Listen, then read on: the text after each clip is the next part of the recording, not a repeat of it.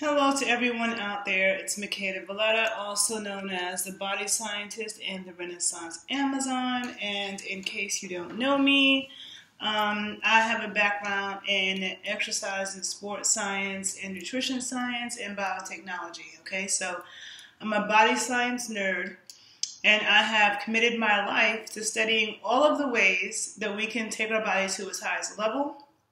And I'm really uh, based in prevention, okay? Preventing being sick, okay? And today, I already did a video two days ago about the coronavirus um, facts and prevention. But I, me and my science self and my health obsessed self, um, I've been doing a lot of research since then, and there's more that I want to share. And because it's such a big deal and it's a pandemic, global pandemic, I am posting this video on both of my YouTube pages.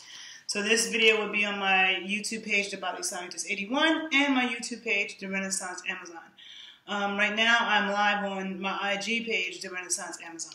Um, and so for those of you who are not familiar with me, um, I am very serious about what I do and about um, research, about reading good, you know, research, dissecting research.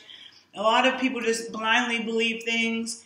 They don't read research, they don't know how to read research, and this is how brainwashing happens, and this is how false information is spread, okay? So, um, also, I want to show you, and uh, along the lines of the fact that I'm very much into research, there's this book that I have, right? This book is called um, the new killer diseases. You see this? The new killer diseases. All right. I've had this book for over a decade. Okay. This book says why SARS, West Nile, Ebola, and mad cow are just the beginning. Okay. Why SARS, West Nile, Ebola, and mad cow are just the, are only the beginning. The new killer diseases. How the alarming evolution of mutant germs, what does this say? Something, are making us ill or some shit, right? Here you see. So I've had this book for over a decade. Now let me read, the, let's read what it says in the back. On the back it says, the deadly new disease, SARS, is a shocking wake-up call about the alarming threat of rapidly mutating killer germs. A threat that may be as challenging as any of the human species has ever confronted. A threat that may be as challenging as any the human species has confronted. All around us, viruses, bacteria are evolving new killer traits. Some bacteria have even begun swapping their most deadly genes with one another. Old demons that the Western world thought it had eradicated, such as uh, plague or back, and stealth viruses, including herpes and hepatitis, are silently slipping into our cells and multiplying, then lying dormant, tricking our immune systems into overlooking them, only to burst forth periodically, causing fatal illnesses such as cancer and perhaps even heart disease. Tens of thousands of Americans die annually from infectious diseases. Millions die worldwide Unfortunately, we have developed vaccines for only a handful of them, and more and more of our drugs are becoming outmatched. Old organisms like Staphylococcus and the bacteria that cause tuberculosis, which we thought we had under control, are rapidly evolving to resist our drugs. So effectively that microbiologists now talk about the possibility of a post antibiotic era when these overprescribed drugs no longer work at all. And entirely new forms of pathogens like prions behind mad cow disease are infiltrating and decimating our brains. Menacing as, bio- as bioterrorism is, the danger from naturally evolving diseases is far greater. The sheer number of pathogens is rising, and their diversity, reproductive vigor, and ability to mutate are daunting. Okay, so this is this book. I've had this book for over a decade, and I have read many books like this. So I, people often hear me talk about infectious disease, how to prevent disease, natural cures for infectious disease. And people, and I always tell people, I've been researching this shit for a long time. Okay, um, I've been a science nerd. You know, first I used to want to research the cure for genetic diseases. That when I went to college, that's what I wanted to do. I was a biotechnology major, so I understand a lot about genetics, genetic diseases, infectious diseases, bacteria, and viruses. Okay. Sometimes I don't always want to say all the things I know because I don't want anybody coming after me. Because one of the reasons why I, you know, jumped out of being a scientist was because I started to see the politics in science.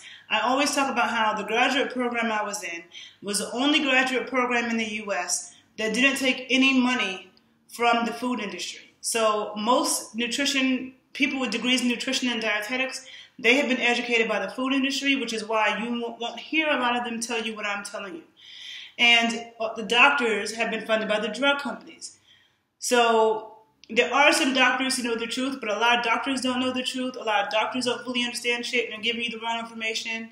A lot of scientists, you know, can't speak up about stuff because they end up dead. Um, so there's a lot of politics, right?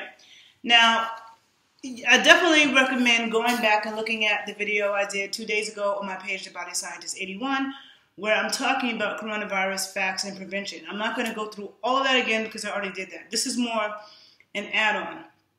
And one of the things I was talking about also in videos that I have on probiotics and intestinal dysbiosis, I have a video on strengthening the immune system, another video on probiotics and digestion and immunity. Um, I have videos on taking care of your sexual organs and preventing sexually transmitted diseases. I have a, a, video on condoms and how they're not the best way to prevent sexually transmitted diseases. So if you look at all of those videos and put them together, you will learn a lot about just infectious disease and how to prevent them to begin with, okay? Because as you saw, what I read on this uh, in the back of this book is that we have an issue with viruses and bacteria that the drugs don't work on them, okay? But I, as I've said in previous videos, the drugs can't. I mean, the, the, the viruses and bacteria have conditions for life. They can't mutate against that. Okay, so if they can't survive in the presence of oxygen and they're in the presence of oxygen, they will die. They cannot mutate against that, but they can mutate against artificial chemicals and agents. They can mutate very quickly, and you you create super strains. Okay. Also, I also explained several times that hand sanitizer not only does it not only does hand sanitizer, antibacterial soap, and antibiotics completely kill your immune system, so it's counterproductive. I would rather not wash my hands than to use antibacterial soap, okay? Because it kills all the good bacteria, all the bacteria, and the good bacteria are critical for preventing infectious disease. On our skin, our skin is a part of our immune system. I always say that, right? And we're, we're only as strong as our weakest link. The skin is a part of our immune system. It it, it, protects us from what comes in out of our body, like things being able to come in. So if you have cuts and abrasions, then viruses and bacteria can enter your body. Okay. Um, and you know, like our, our we have we have phospholipid bilayers, fat bilayers, and cholesterol that keep our skin and our cells waterproof. Okay, so this is very important. Um, but my mom had just sent me a text message because I, I, you know, with my parents, I'm just making sure. Like my mom is 70, my dad is 77. Neither one of them have any like real health problems, but both of them have low vitamin D. Like most people have low vitamin D. Get your vitamin D checked. On my Patreon page that I'm launching this week, um, I, I plan on launching it tomorrow. I will be doing videos on how to know about what your vitamin D level should be, how to understand vitamin D tests so I'll be doing more detailed scientific videos on my Patreon page. Um, so you can learn a lot more in depth there, or you can just do your own research and spend hours researching and find what you find. But vitamin D is critically important, critically important. That and probiotics, like two of the most important things when it comes to preventing infections. And vitamin D is especially linked to preventing upper respiratory tract infections. So I had both of my parents taking cod liver oil. I wanted them to take that before this whole outbreak and probiotics. Okay, I also take probiotics and cod liver oil. But the older you get, the harder it is for your body to make vitamin D. The more you need vitamin D. Um, and so older people and people with compromised immune systems do need to be extra careful and definitely need to make sure that they get adequate vitamin D. High doses of fermented cod liver oil, high doses of probiotics, you know, consuming things like drinking green tea and echinacea, um, putting olive leaf extract or oregano, oil of oregano in your tea, stuff like that, okay? Um, now, my mom had just sent me something telling me that like 200 people died in Italy over the past 24 hours. Now, the thing about the deaths from coronavirus is that they are mostly elderly people with compromised immune systems, elderly people who already had health complications. Italy apparently has more elderly people. Has this is the the the, the um, they have the second largest population of elderly people is Italy after Japan. Okay, so there's a large number of, large number of um, uh, uh, elderly people in Italy. Most of the people who are dying from coronavirus worldwide are elderly, but Italy has a huge um, elderly population and they're very have a very social culture. So that is one of the reasons why the virus spread so quickly in Italy and has killed so many people. And it was undetected; it was already there, and nobody knew about it for a while. Now, the thing in quarantine, quarantines don't work, and I have watched other scientists talk about this, how quarantines do not work because, um, and I know this because you can't stop microorganisms from spreading. We cannot stop bacteria and viruses from spreading around. There's no 100% foolproof way. And this is what I, when I talk about safe sex, I always tell people it starts with you, your microbiome, with all infectious disease, whether it be from sex, from food, from coughing, uh, no matter what it's from. Okay? And I, whenever I would tell people why it's important to take probiotics, I would always say we, we can always be exposed to infectious disease. You cannot see bacteria and viruses. And I always use tuberculosis as an example. Like if somebody spits on the floor and they have tuberculosis and you walk by it and you breathe that, you could get tuberculosis. Now the thing about the coronavirus is that number one, it's not a new virus, okay? It's a mutation, which is what this book is talking about mutations. So when people think that, oh, this has to do, the government is trying to do this, this, and that, no, no, no, no, no. No. Anybody who understands science and has been paying attention to microorganisms for the past 20, 30 years knows that there's a problem on the planet with infectious organisms, with antibiotic resistant bacteria, with antiviral resistant viruses. They know that viruses and bacteria mutate all the time. And we give them reasons to mutate when we try to use these artificial agents, okay? And this is why I feel like, you know, the best prevention is taking care of yourself and your own your own being, okay? Um now the thing about coronavirus is a mutation. SARS was a coronavirus. Some some flu viruses are coronaviruses, okay? Um, and I think MERS was also a coronavirus. So we had MERS, we had SARS, we had Ebola. Um, most of these um, uh, viruses that really harm people, they come from animals. Even HIV, they came from chimpanzees or something like that. So a lot of them come from animals into humans, okay? And there, you know, it doesn't, to me, it doesn't really matter where it came from. Like some people say it came from somebody eating bats in China, but then other, I've seen other scientists talk about how they felt like it came out of a laboratory, bioterrorism laboratory, and both of those sound sound like they could be uh, true because I also have said this in my previous video. Any college student, graduate student has access to all kinds of disease-causing organisms in the laboratory. I used to think this when I was a, when I was a um, undergrad. I'd be like, oh, like you're working with stuff that's like a biohazard, and you could easily take it out the lab and put it on somebody and create a big problem, right? Um, so there's lots of diseases that scientists are studying in laboratories that can get out. Um, so I believe that, but also it's funny because with China, I've been saying for a long time that I don't want anything from China and I don't trust Chinese people. No offense, okay, because I'm, I'm, I'm not talking about Chinese Americans. Okay, Chinese Americans are different.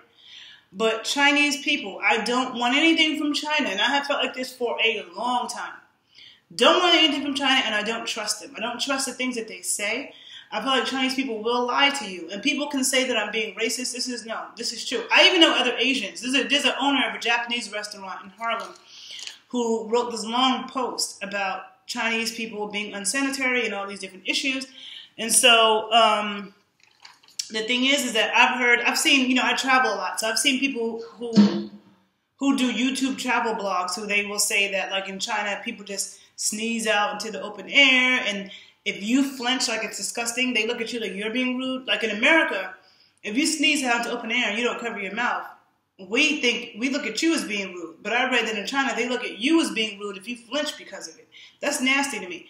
I know that in New York, I have seen Chinese people blowing snot rockets out their nose onto the sidewalk, which is fucking disgusting. I think it's nasty just to, to even blow your nose in public, let alone blowing snot rockets on the ground, okay? Spitting on the ground, which a lot of Americans do. I think that's nasty too. But, um, but, but I think spitting on the ground is fucking disgusting, and blowing snot out of your nose is disgusting. Um, and Chinese people do eat all kinds of crazy shit. Okay, so I, am not. I, I, that's not a far fetched thing for me. But the thing, I mean, for me to believe. But the thing that people have to understand is that viruses, bacteria will spread. There's no quarantine that has ever worked in life. Every disease that people have tried to quarantine people, it doesn't work. Okay. Um, there's a lot of people who have the virus on them that don't know because they don't have the they don't have these symptoms and then passing on to other people. So, like I have been telling people for years, if you look at my videos from way back and the way back, for a long time I've been talking about probiotics and why it is so important. Anybody who has been my client can tell you I have lectured them about probiotics and why it is your first line of defense against infectious organisms, why you need to not take antibiotics, why you need to not use antibacterial soap. All those things mess up your, your microbiome. Now, another thing, people deciding to use hand sanitizer because of SARS virus doesn't, I mean, not SARS, because of Corona doesn't make any sense. And the reason why is because anti, uh, anti, the hand sanitizers is for bacteria. Coronavirus is a virus. Viruses and bacteria are not the same thing. Bacteria are living organisms that reproduce um, uh, viruses are not living organisms, but they do hijack your cells and inject your cells with their DNA or RNA. One thing about coronavirus that makes it a little bit different than other viruses is that it's an RNA virus and not a DNA virus, okay? But it injects its RNA or its DNA into your cell and hijacks the cell and takes over the cell. The cell then becomes, it's like a zombie, okay? So it begins to, to um, the cell begins to create proteins that the DNA from that virus has injected into it. That's how viruses work. Okay, and the coronavirus has stuff on it that can, like, once it gets in your skin, can get in the skin and and um, and do all all that kind of stuff. Okay, so um, the thing though, the SARS virus and let me see, SARS and MERS are all versions of a coronavirus, right? Now um, the difference is is that coronavirus is spreading a lot faster. It's spreading a lot faster than um, than uh, than MERS did and then SARS did, and it's spreading a lot wider. Even though the mortality rate is a lot lower, so the mortality rate is a lot lower, but um, it's spreading a lot faster. Now, when you see, and this is the thing, like unless everyone's going to live in a plastic bubble, we now see that colleges have canceled um, like Harvard University, UCLA told people not to come back to school. Um, you have the NBA cancel the whole season because one person got infected with it, and who knows who else in the NBA has it, right? But who knows how many of us may have the virus on us and don't know, and you're not be you're not sick because of it. So if they were actually able to test everybody, what would happen is the mortality rate would actually go down because we would find there's way more people who have the virus and than we, than we actually know who are asymptomatic, don't have any symptoms, don't die from it. So that would mean more infections, less death, means the mortality rate actually goes down even lower. Okay, so I'm saying this to say that this this virus is highly infectious, but it's not really that dangerous unless it's the elderly, like even kids, which is good. Kids seem to not be um, getting that sick from the virus. It's elderly people and elderly people who have already compromised immune systems. So if this elderly person is going through chemo, they went through chemo, they are severely diabetic, um, and they have a lot of severe health problems. So like one of the main things, if you have older people in your family, is to make sure that they are getting enough vitamin, that they're getting a lot of vitamin D. And I do not suggest taking vitamin D as a supplement pill. Okay, I suggest taking cod oil, fermented cod oil, where vitamin D and vitamin E, I mean vitamin D and vitamin A are in the right balance, and um, and you have the pro uh, anti-inflammatory omega-3 fats. And also, if you have access to the sun, if you're somebody that's in a warmer climate, go out into the sun. Because another thing, another thing about um, about quarantines is that, and I was just listening to a science scientist talk about this, but I know this to be true too, is that staying inside, okay, staying inside actually helps the virus to replicate and spread. Okay, it actually makes it more powerful.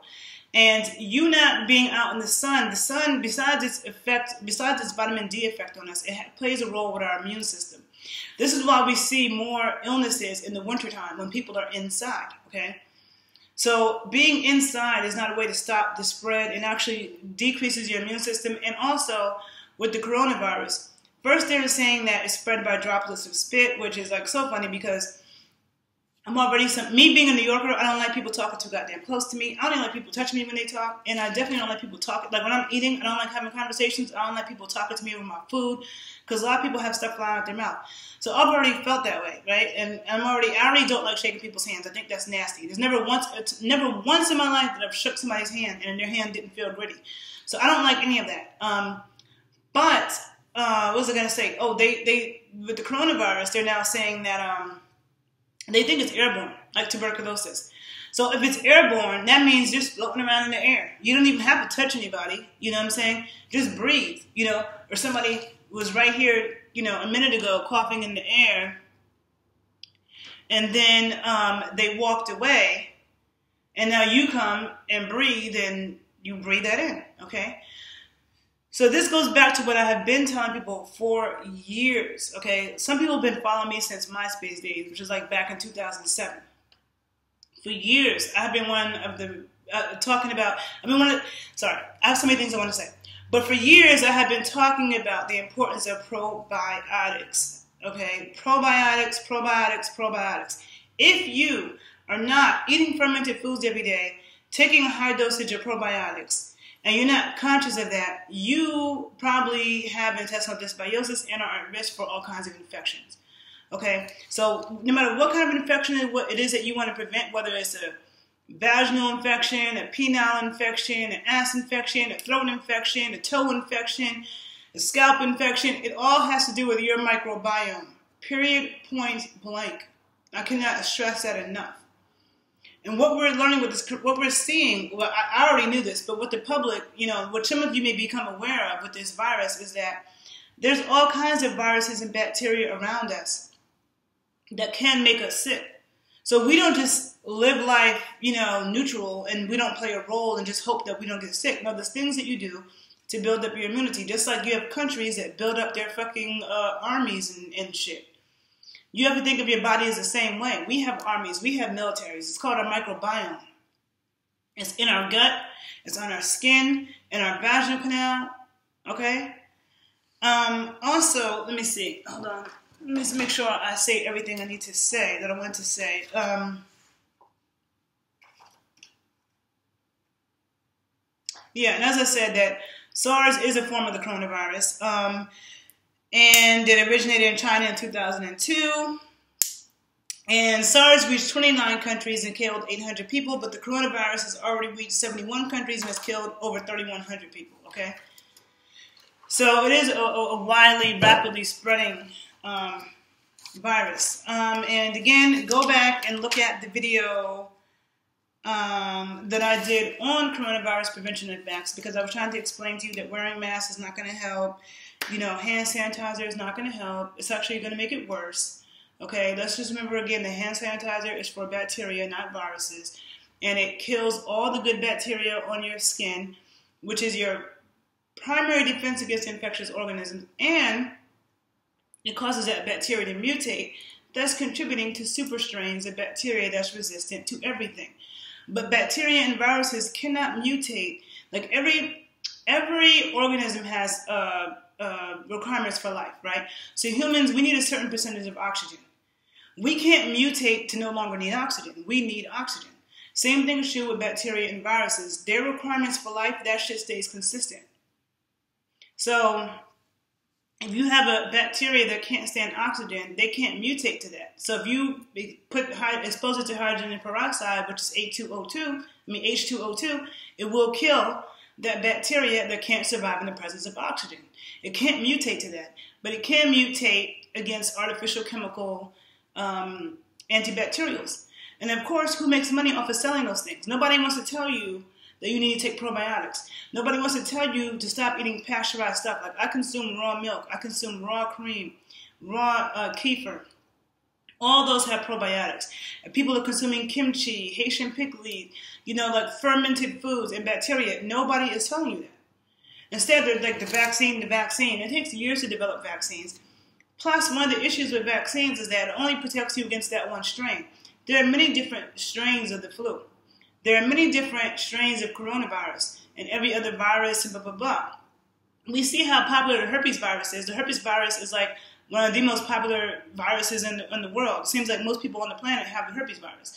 A lot of people have the herpes virus and don't even know it. This is because viruses can be dormant in our system, okay, and they can be reactivated, which is also what I read on the back of this book the new killer diseases. Okay, uh, if you if you join this late, go back and listen to the beginning of the talk. But this book talks about that, which is more of a threat than bioterrorism.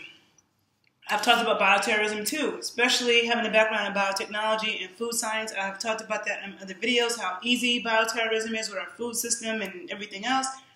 But this book is saying mutations are even more of a threat than bioterrorism mutations always happen. So a lot of people think, oh, the government is a conspiracy and they want to distract us from the election. No, this is normal. Bacteria and viruses mutate all the time. And in the 90s, I predicted some shit like this happening. And this is also the analogy I would use when I talked about condoms. I'm like, condoms are not, the, if you really want to be safe in preventing infectious disease during sex, and you just eat whatever, you know, you're not conscious of your microbiome and you think that just putting on a piece of plastic is going to protect you.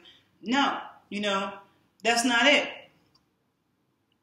You know, that's not it. There's more than that. Because just like with, with coronavirus, stuff can go around the mask and this way and that way. Same thing is true with other infectious organisms. So if you're having sex and the condom stops right here, but you have vaginal fluid all right here and on your face, because I don't know anybody who's ever used a dental dam when they have sex, I mean, when they go down on a woman, so you're doing all of that, and you think that just by putting plastic right here is going to stop something. Like there's a such thing as microbiomes. Okay, microbiomes are your first, your microbiome. You having a lot of good bacteria, oxygen-producing bacteria in your gut. You staying away from antibacterial soaps and antibiotics. Every time you take around the antibiotics, it greatly messes up your microbiome. So you have to go even harder to replenish that.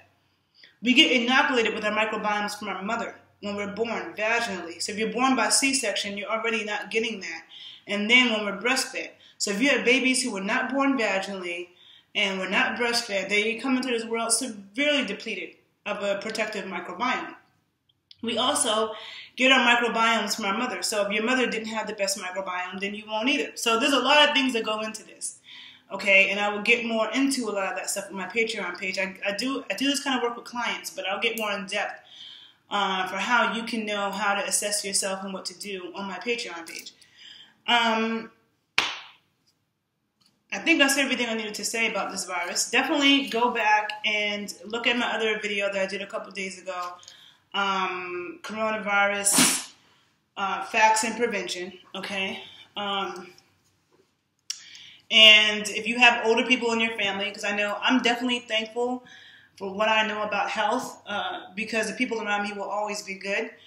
And um, my mom actually just called me when I first started this video to tell me, like, I had already had her taking olive oil, but um, she hadn't been taking it, so she started taking it again. And she just called me to tell me, I feel so much better that I've been taking this. Not that she was even sick, but she feels even better because that vitamin D is critical.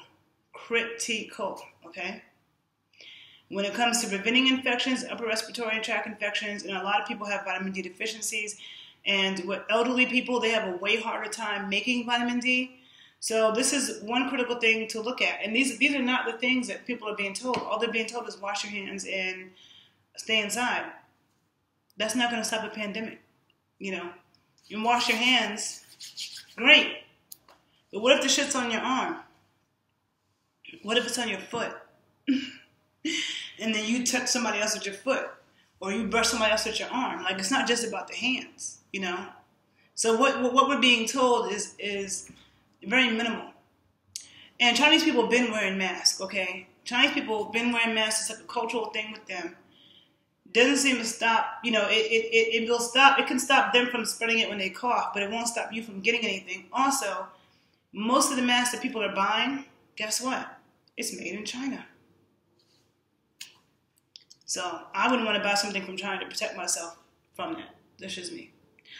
But um, yeah, definitely take a look at the links that I post below my YouTube video, on this YouTube video. Um, and uh, take care. Take care of yourselves. Understand that you play a huge role in taking care of yourself. Understand that we can never fully box ourselves in and protect ourselves from infectious disease. It's always going to be wherever, you know, we can always be exposed to it. We never know. This is why we have to always be ready. This is why taking care of yourself is not, you don't want to wait till there's a pandemic to say, oh, let me take care of myself. No, you need to be doing that shit every day because you never know when there's going to be an outbreak of something. We don't, we don't hear about that until people die. Okay? So take care, people. Make sure you listen to my videos. Look at the videos I post below. Follow me on YouTube and Instagram. YouTube, the Body Scientist 81. Instagram, the underscore body underscore scientist. And I hope you and your family um, all stays well. And I'm always available for one-on-one consultations, training sessions. If you want to talk to me about that, email me directly at thebodyscientist81 at gmail.com. And be great, people. Bye.